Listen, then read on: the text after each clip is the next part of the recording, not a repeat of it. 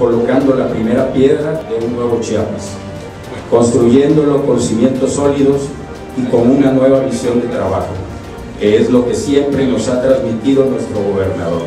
Me da muchísimo gusto que hoy haya llegado, arribado, un nuevo vuelo a Chiapas.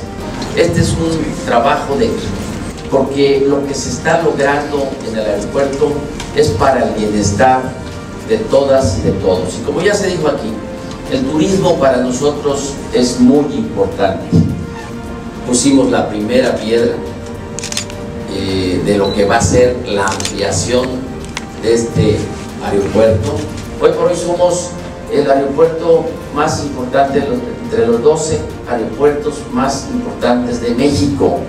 Vamos a dejar preparado este aeropuerto para que esta sea la base de un servicio del turismo internacional. Rutilio Escandón, gobernador.